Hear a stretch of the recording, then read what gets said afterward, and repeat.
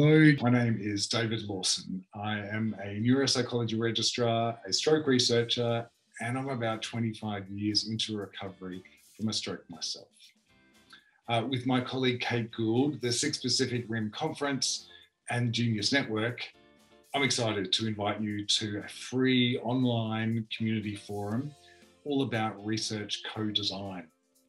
What is that? It's all about partnerships between researchers and people with lived experience to design truly meaningful and relevant research. So come along and hear from experts in co-design and teams working in co-design partnerships on amazing projects in stroke, dementia, disability, and even cyber scams targeting people with brain injuries. Your voice is fundamental in shaping research.